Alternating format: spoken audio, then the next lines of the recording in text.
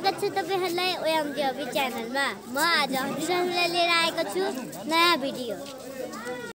आज म पोखराको जल्दो बल्दो पर्यटकीय स्थलमा आइसकेको छु। यो ठाउँ त तपाईँहरूलाई चिनिसक्नुभयो होला। चिन्नु भएको छैन भने माथि भ्यू हेर्न सक्नुहुन्छ।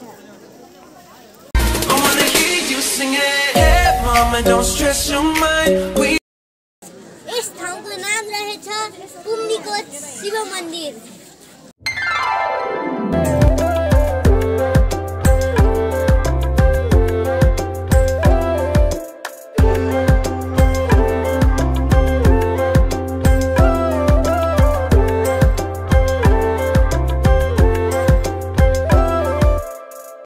छोरी पाटनबाट यहाँ करिब छ किलोमिटरको दूरी रहेको छ।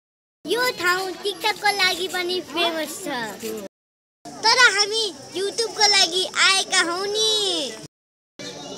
यो ठाउँको विशेषता भनेको यहाँबाट फेवर ताल पनि देखिन्छ